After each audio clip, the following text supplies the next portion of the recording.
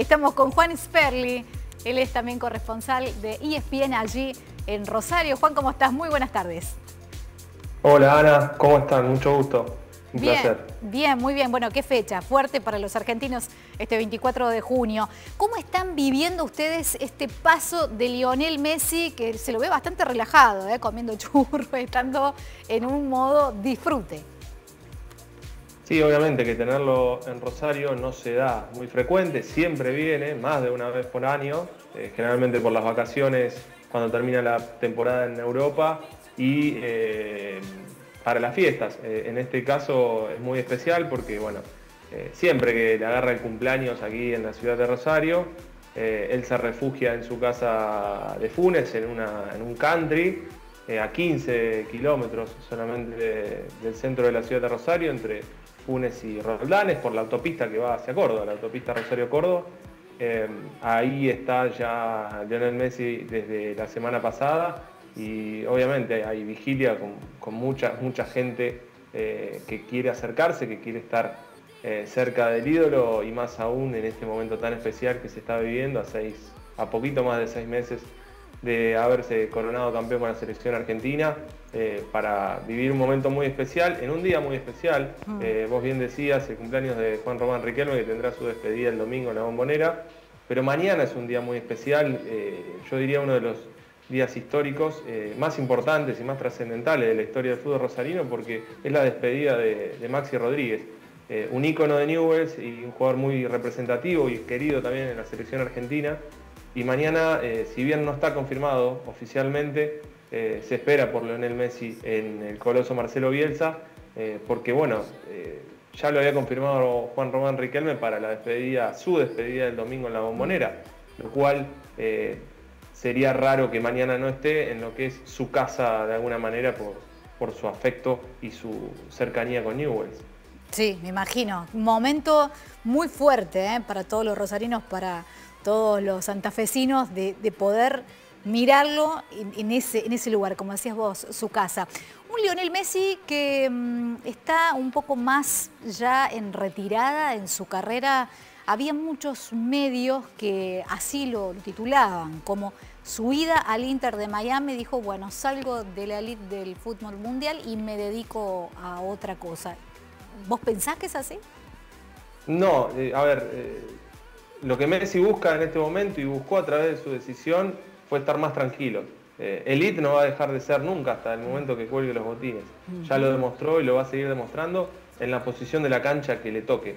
Eh, lo pudimos ver por su poder de influencia en el Mundial, sin tener la rapidez eh, de lo que fue en otras épocas. Sin embargo, fue su, su obra más importante con la selección argentina. Entonces de la elite no está corrido, simplemente va a buscar tranquilo un refugio como es eh, Miami, que además le garantiza tener eh, hasta acciones en el club eh, que comanda David Beckham y que, cuya propiedad es de Jorge Más. Él, lo que busca ahora es eso, es estar tranquilo, es poder llevar a los chicos a la escuela sin que lo vuelvan locos, por más que lo van a volver loco. En Miami hay muchos argentinos, y, bueno, yo creo que entra en una etapa de su vida en la que va a vivir un poco más eh, relajado, sin la necesidad de estar todo el tiempo escondiéndose o teniendo que dar explicaciones. Por todo, eh, aunque si hay algo que en lo que se caracterizó siempre Lionel Messi fue en, estar a la altura todo a cada momento que le tocó declarar, en cada, en cada momento que tuvo que aparecer en cámara, en notas. Eh, es como es una de las pocas personas que hasta recita un archivo. Eh, hasta eso ha hecho bien Messi a lo largo de su carrera. Eh, y es lo que busca él y, no lo podemos descartar nunca tampoco para lo que es el futuro de la selección argentina. Claro, eso, te iba, eso te iba a decir, porque en las declaraciones que él dio en el último partido amistoso, dijo, bueno, eh, voy a ir como paso a paso por una cuestión de edad. Él es muy cauto ¿no? en ese sentido. Sí, sí, no, no, se va a jugar tampoco, no va a decir voy a estar porque además es muy respetuoso con sus compañeros, siempre lo ha mm. sido. Y, queda un año nomás para la Copa América que va a ser en el mismo lugar, va a ser en, Estados Unidos. Entonces pensar a Messi ya fuera de las selecciones es un absurdo porque es selección argentina Messi. Y, y además eh, tampoco podríamos descartarlo para el Mundial. Él, él mismo dijo, no, no, no, pero ya ahora lo empieza a ver con otra cara y empieza a responder de otra manera. Y, bueno, es un juego y, nos gusta también cuando dice algo al respecto eh, especular en ese sentido. Pero siempre hay que dejar una puerta abierta y qué mejor que al mejor del mundo. Bueno, por supuesto, pero por supuesto.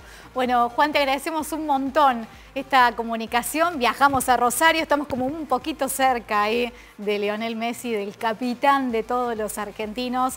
Y también le deseamos este feliz cumpleaños, estos 36.